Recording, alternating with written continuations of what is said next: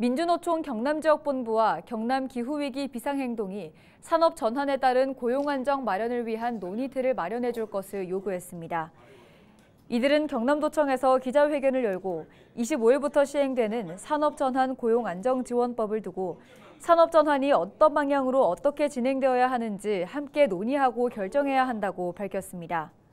또한 노동계뿐만 아니라 주민과 지역 공동체 역시 주체로 참여할 수 있도록 해야 한다고 강조하며 노동자와 지역 주민 누구도 소외되지 않고 배제되지 않도록 정의로운 전환 입법에 나서줄 것을 촉구했습니다.